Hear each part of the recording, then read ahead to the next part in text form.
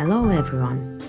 I am Grandmaster Alexandra Kosteniuk and I will comment for you today my game from the recent European Team Championship in Novi Sad, Serbia. I was playing on the first board against Monica Calzetta, who is the current Spanish champion. I started the game with e4 and Monica played e5. Surprise! That was not really something that I was prepared for. Knight f3, knight c6, and here I decided to surprise my opponent as well, choosing instead of my favorite Ruy Lopez a calmer Italian game and played bishop c4. After some thought, Monica replied bishop e7. It seems that both opponents are playing a game of who will be surprised the most. Bishop e7 is another unexpected choice, and we now have the Hungarian defense. Here I was already playing on my own and opted for d4, which is the most popular reply here. My opponent replied d6, since after e takes d4, knight takes d4, the game transposes to the Scotch game. After d6, I continued the game by playing d takes e5, my opponent played d takes e5, and since I didn't want to exchange the queens immediately here, Thinking that I can cause my opponents more trouble with the queens on the board, I played bishop d5. After some thought, my opponent here played bishop g4. Instead of this move, during the game I expected another move for black, which is bishop d7. Black continued with bishop g4. I spent quite a bit of time here and finally decided to take on c6 immediately. The main goal of this move is to weaken the black pawns on the queen side. Probably castling king side here would have been stronger since it will leave white with more possibilities. First of all, after castling, white threatens now to win the pawn on e5 after bishop takes e6, queen takes d8 and knight takes e5, which is not possible right now since if instead of castling I take on c6 and then after b takes e6 I take on d8, rook takes d8, knight takes e5, I will get checkmated after rook d1. I took on c6 immediately, bishop takes e6 check, b takes e6, and here I played queen e2. My opponent continued her development after knight f6, knight b2 d2,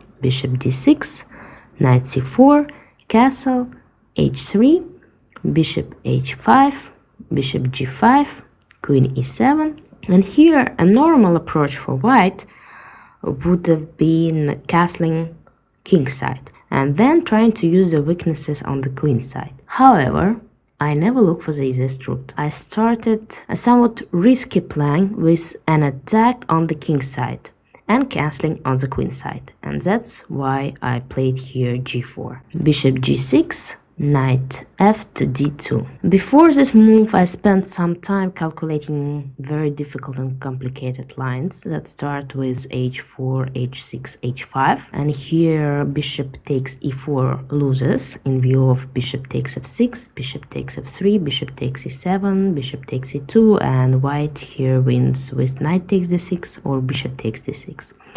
So after h5, black can just play bishop h7, and after bishop h4, queen e6, it seems that white has to exchange the bishop on h4 for the knight on f6, and that's why at the end I opted for knight f to d2. The game continued with h6, bishop h4, and here my opponent started not to play very well. She played rook a to b8. Queen e6 was the strongest move here for black with the idea of getting rid of the pin as soon as possible and transferring the knight via d7 to the queen side, closer to the opponent's king. During the game I was hoping that black's attack on the queen side will be stopped, uh, for example after f3, knight d7, queenside castle, a5, bishop f2, a4, a3, and that my attack on the king side will be more dangerous. But at least it would have been more interesting and more sharp for black. In this line, black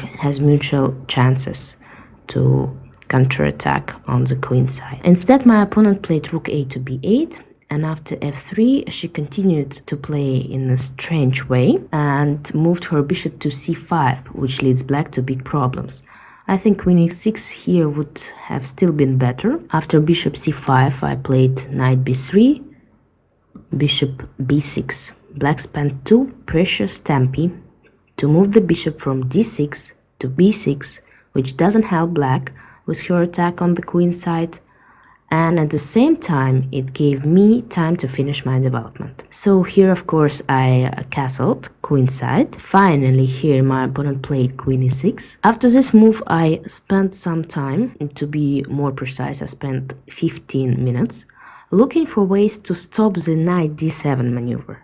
At some point I almost played queen d3 when suddenly realized that black has a very strong reply after queen d3 which is knight d5 using the pin of the bishop on g6 and the pawn on e4 after some hesitation since i also thought about uh, possibility to include the moves a4 then a5 and then playing bishop g3, I decided to play bishop g3 immediately. My opponent played knight d7, and here, although the exchange sacrifice rook takes d7 looked very tempting, I decided that after h4 at some point the sacrifice can become even more devastating. For example, if we look at the variations after rook takes d7, queen takes d7, knight takes e5. White has more than enough compensation, for example after queen e6, f4, bishop h7, f5, or if after knight takes e5 if black plays queen e8 then white will play queen c4 king h8 knight takes e6 but since it was the team competition i prefer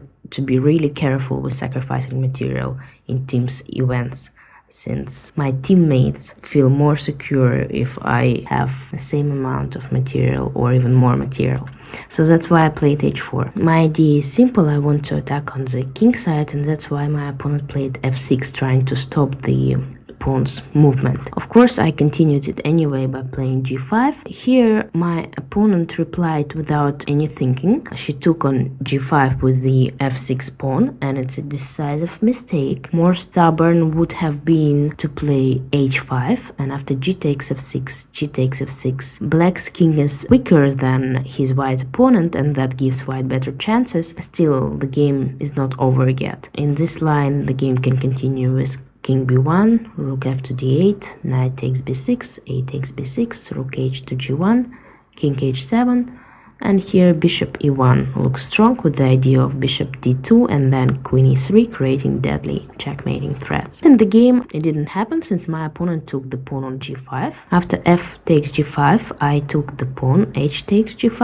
Here after h5 rook takes d7 works very well. Queen takes d7, knight takes e5, and before sacrificing the rook, I saw here a very nice variation, which starts with queen e8, f4, bishop f7, f5, g6, and here I was very happy to notice the knight g4 move. The knight cannot be taken now due to queen h2, and then queen h8 or queen h7 checkmate. And after queen e7, knight f6 check, king h8, bishop e1 followed by bishop c3 is winning for white. But in the game, this variation didn't happen since my opponent after knight takes e5 played queen e6. But it only helps white since after f4, bishop e8, I have an extra tempo since I'm playing f5 and attacking the queen on e6 at the same time and after queen e7 I'm closing the king side and the h file by playing g6 black's position is totally lost because white has two strong ideas to take on h5 rook takes h5 then rook h8 check queen h5 check and then queen h7 checkmate and also another idea is to give a check on c4 by playing queen c4 so the game continued with queen g5 check king b1, bishop e3, rook takes h5, queen takes g3. Here, of course, rook h8 doesn't work since black will just take on h8 and after queen h5 will play bishop h6. But another idea, which is queen c4 check, works very well and black gave up here since mate in a few moves is unavoidable. It was a very interesting game, a nice win, and a very good start for me, which gave me enough self-confidence to play well in this tournament and at the end to score 6 out of 8 with 4 wins and 4 draws and to win the gold medal on the first board as well as the gold team competitions.